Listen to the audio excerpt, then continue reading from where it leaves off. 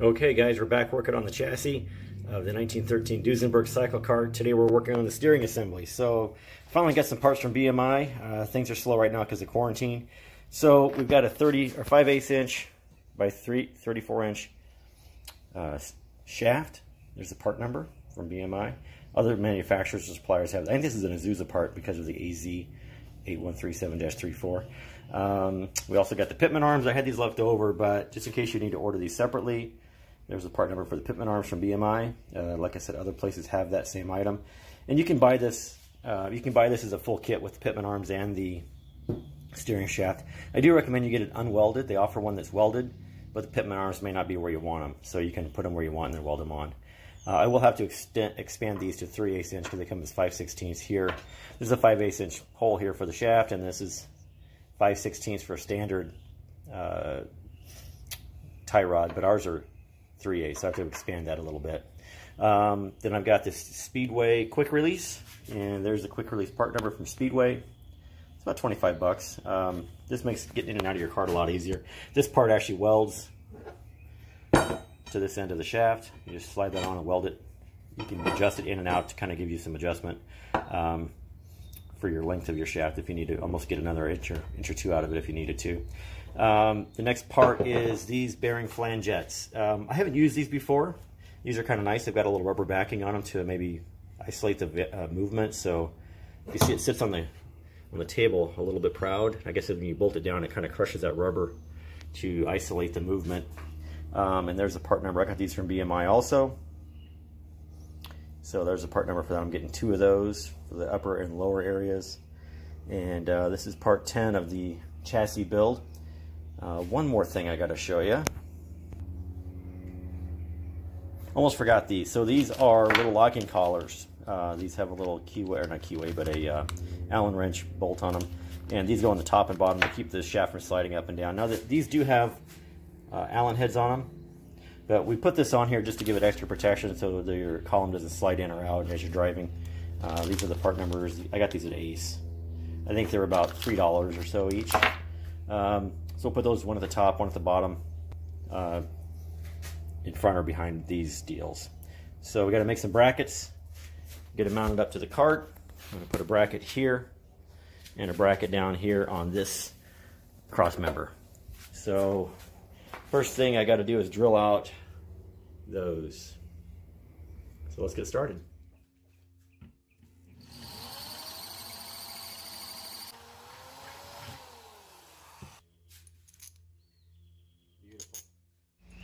Okay, so I'm mocking up the steering column and clearancing it.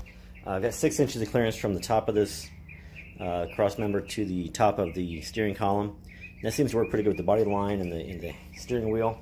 That's just kind of sitting on there right now. Um, the bush or the uh, bearings are mounted to a plate I drilled out, and so this is going to slide up here, and we'll have to rig up a bracket to uh, attach that to the frame. And then down here at the front, same thing. I've got some bricks and some magnets just kind of holding everything in place. So there's the bearing in the little bracket. So I got to, I might rebuild this bracket with uh, with a longer leg on it so I can just weld it directly to here and then gusset it. In fact, I, I think that's exactly what I'm going to do. I want to take this off and uh, make this this much. I'm going to take a measurement here and uh, recut this piece so that it actually touches the ground. So that might be a lot easier to do. So let's uh, let's work on that. Okay, so this is what I came up with. I just added to the plate because I had, be, had this angle anyway, and I didn't have a piece of steel big enough to make this all out of one piece and bend it. So uh, this worked out pretty good. I welded this small piece on, um, and then welded my other piece bracket I already had to it, and I supported it with some half-inch square tubing from the backside, and uh, it is plenty solid. So that should hold up just fine. Most of the movement in this is side to side uh, when the tie rods are, are banging back and forth, so should not be a problem. Uh, so now we're going to rig up uh, the front, or the top one. Okay, so lower and upper mount are done. I got to finish weld this. I just cut off these straps. What this is is some strapping that was left over from a fence project. And um, I made this, this is going to weld here, but be bolted on here. Because once we put our quick release on the shaft here, and that's welded on, and the tie rods, uh, the pitman arms are welded on, this won't be removable. So we want this to be able to be unbolted from the car and take the steering column out if ever need to be done. So two bolts. Um, this little plate will remove along with the bearing. So these are just bolted from the back side to those straps. I'm going to gusset this strap a little bit, but right now it's it's pretty sturdy. I mean, it, it, it wiggles, but only because this whole bar is wiggling a little bit. So I might put some gussets across here. Excuse me, my fingers in the way. Through here, uh, just to eliminate some of this flex that's happening here. But that's going to work out fine. Um, I made sure this is centered in the uh, in the space and it's going to work out pretty well. So pretty happy with that. I still have to weld the, uh, the pitman arms on down here. I'll space these off a little bit from here, uh, right about there probably. Um, tie rod's relatively straight and level, so that's pretty good. Uh, yeah, this is moving right along, so uh, getting her done. So I removed the steering shaft and I was able to leave that bearing in place, just un unscrew these two set screws and then the bearing up here removes from the bracket. I added another support here just because it was wiggling a little bit. Um, and I've got this over on the bench. I've marked where the tie rods are going to be welded. Uh, the important thing here is to keep these level and parallel as best you can. And then also make sure they don't interfere. So this bolt, uh, if you put it in the other direction, probably never get it in and out again because the, the bracket's in the way. So this has to clear everything. So it does. I've marked my tie rod with a scribe like this, and I cleaned the, the metal. So now I'm ready to put some welds around this shaft. So uh, we'll do that next. Okay, so I've turned the heat up on the welder, and I'm going to get a couple tacks into this right now, and uh, let's get going.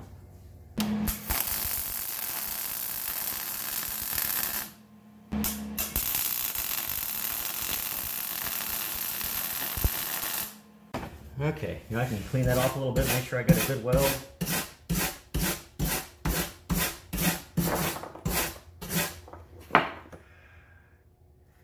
Yeah, that looks pretty good. So I'll put a few more, I'll flip it, let that cool, I'll flip it over do the other side. Okay, so I flipped it over. I'm gonna put a few more tacks on there.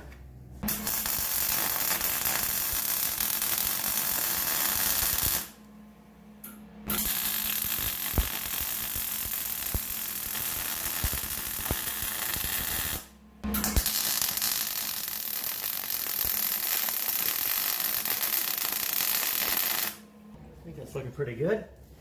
I will pause the video and get some more.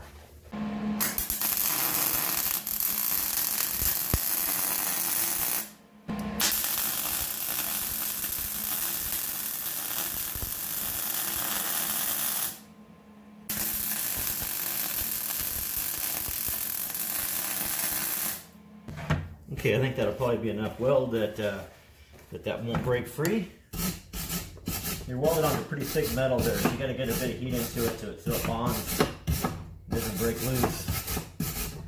Um,